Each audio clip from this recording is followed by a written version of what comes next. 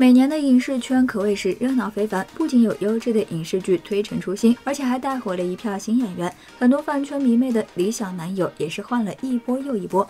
男明星之间的竞争那是十分激烈。那么，二零二二年最火的男星与二零二一年还是一样的吗？大家觉得男明星人气榜第一名会是谁？今儿小编就给大家盘点了一下内娱红透半边天的男明星，赌一包辣条，肯定有大家的四字弟弟。哈喽宝宝们，咱们又见面了。当下最火的男明星都有谁呢？小编觉得这四位肯定榜上有名。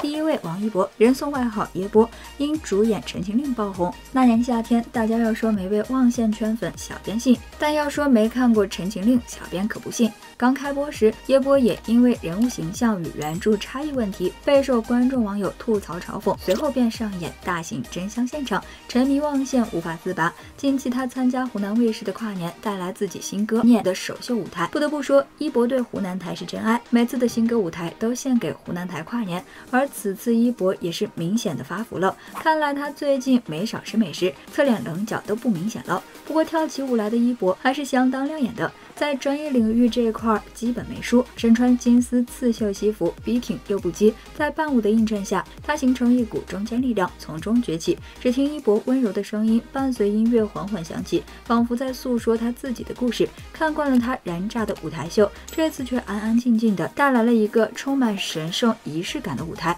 有被惊喜到，全新不同的视觉享受，深深的抓住了观众的内心。原来王一博的慢歌内在力量很强大，王一博的舞台秀从来。不会辜负自己，更不会辜负任何人。此次他的汇报演出很成功。去年是他特殊的一年，对于摩托车而言也是特别的，所以这首歌带着更多的心灵安慰感。除了在专业领域不断发光的一博，他的商业价值也在随着人气而增长。他的代言数量很多，全球代言也是超多的。他是植村秀全球品牌代言人，是 Redmi 手机品牌全球代言人，是 EVSU 全球代言人，是太平鸟品牌全球代言人等等。他有差不多。四十个代言，他的代言涉猎很广，从衣食住行到吃穿用度，粉丝们完全真的是按需购买。不只是因为王一博代言这几个字，更多的是因为他所代言的东西很实用，大家也是在理性消费的范围内去支持他，去首选他所代言的东西。他的商业价值也是一如既往的呈上升趋势。一博也是在全方面发展自己，跨界成为演员的他，也是在不断提升自己的演技。从蓝忘机到谢允，再到百里弘毅，一博都有在一步一步。步往前走。如果说蓝忘机的成功是王一博本色出演的话，那么谢允就是他迈出了自我突破的关键一步。在有匪中，王一博饰演的谢允是话痨体质，他无时无刻不在说出自己的观点，并且经常会因为太调皮而被女主修理。这个角色对演员最大的要求就是面部表情要足够丰富，而王一博也的确做到了。比起不苟言笑的蓝忘机，谢允完全是另一个极端。接着在二零二一年尾，百里弘毅和大家见。面会员已更新完结，这个角色对于王一博来说难度蛮大的。王一博除了表现出高冷严肃的一面，还将角色内心中情感的递进演绎出来，真的有进步了。第二位肖战，作为目前已经在娱乐圈红遍半边天的艺人。粉丝们在肖战身上看到了内卷现象，肖战的王牌热播让不少粉丝都高兴不已。而作为剧中的主演之一，肖战在剧中的表现也没有让观众和粉丝们失望。从王牌开播至今，收视率方面也一直都保持着非常不错的成绩，这是对肖战实力的一种肯定。一月三号，肖战在社交平台发布长文，谈及自己在王牌中对所饰演的顾一野的理解，而这篇小作文也引起了不少粉丝和网友的讨论。文中，肖战表。达了自己对顾一野这样人物的敬佩之情。肖战把顾一野的人物性格揣摩得非常透彻，可以看出肖战对剧本有着非常深刻的理解。所以这也从另一方面展现出了肖战对于演员人物的认真对待。小编还记得肖战在《王牌部队》中初次穿上军装，一身绿色佩戴大红花，很是光荣。这位看书的男主角就是《王牌部队》中的主演，双手捧着书，太书生气了。进入部队生活后，顾一野并不跳戏。这说明他挑战新角色转型成功了，和女兵的感情戏也很浪漫，只是在那个年代还比较保守。不过男帅女靓还是很般配。有网友粉丝留言表示，肖战也太内卷了，自己写的毕业论文都没有肖战如此认真。而肖战的内卷和认真，并不仅仅只体现在《王牌》这部作品之上，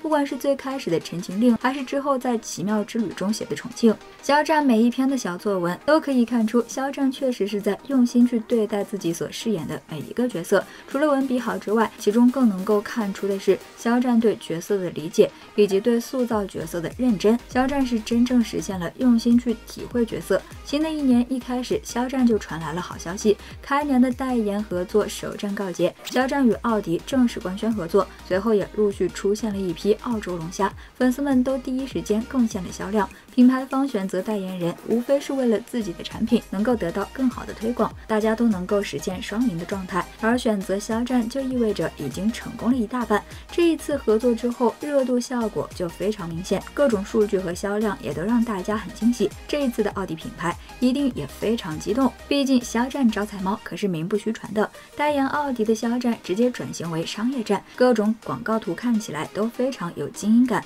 解锁肖战的不同造型风格。这对于粉丝来说也是一种福利。肖战的好消息可不止一个。近日，肖战在音乐平台正式上线了一首全新的歌曲，那就是《王牌部队》的片尾曲，歌名叫做《我们曾经在一起》。看歌曲的名字，其实就能感受到该首歌曲与《王牌部队》这部新剧可谓是相辅相成的，可以说是用音乐的另一种形式，再次让大家体会到了那份战友情和顾一野心中的那份不屈的精神。第三位，易烊千玺。在刚刚闭幕的第十八届广州大学生电影展中，演员易烊千玺获得了大学生喜爱的男主角，这也是千玺弟弟第二次获得广州大学生最喜爱的男主角，祝贺祝贺！近日，由文牧野执导、宁浩监制、易烊千玺领衔主演的电影《奇迹》释出首支官方预告，伴舞同行。预告中，易烊千玺扮演的景浩为筹妹妹手术费，马人组队创业搞钱，然而招募而来的队员们却是耳背女士齐溪、网咖大神许君。从王宁犹豫拳手龚雷，对此有网友表示：这些队员们到底是来认真搞钱，还是认真搞笑的？期待正片中的精彩演绎。千玺十三岁以男团身份出道，TFBOYS 三个小朋友火遍大江南北，天王周杰伦亲自为他们写歌，为华语乐坛灌注了强劲的新生力量。成年之后，三小只各自发展，在不同的领域依旧是各中翘楚。千玺更是凭借出色的演技，从《少年的你》到《送你一朵小红花》，成为。最年轻的票房保障，商务影视资源好到爆，粉丝突破八千万，当之无愧的顶流。他用了五年的时间，让全国观众记住他特别的名字，粉丝亲切地称他四字弟弟。自从二零一八年开始，易烊千玺先后凭借《这就是街舞》展现了超凡专业能力和舞台掌控力，紧接着又凭借黑马网剧《长安十二时辰》，凭借对李碧一角的成功演绎，获得各大平台数据和网友的认可。紧接着一部《少年的你》，直接。进军奥斯卡，刘北山的身上丝毫不见李碧的影子，甚至会让人忘了演他的人叫易烊千玺，仿佛那个少年原本就叫刘北山。